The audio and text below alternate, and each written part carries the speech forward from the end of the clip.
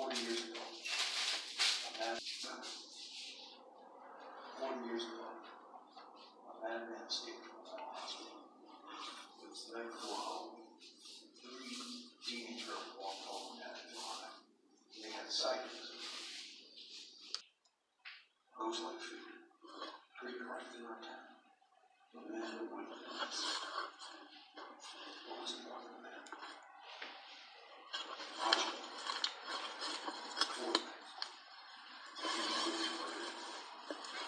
house next door. There was a babysitter and a young boy, young girl.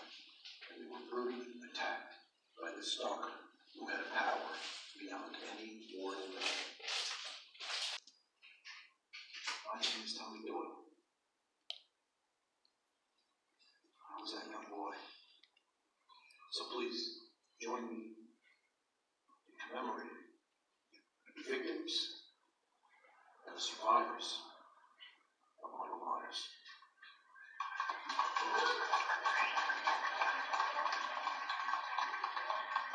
we have, uh, lovely Lindsay Wallace.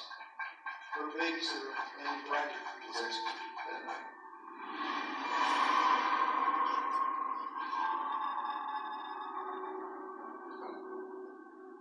We had Miss Marion Chambers. She survived the assault.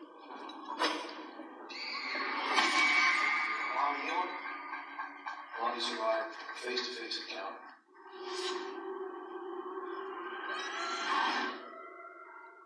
It's Halloween night in Haddonfield.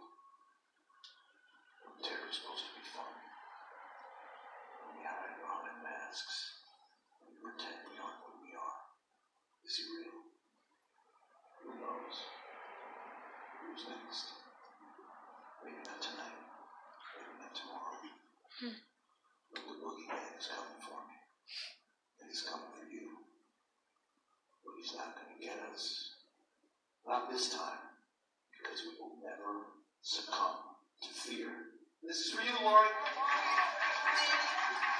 Wherever you are.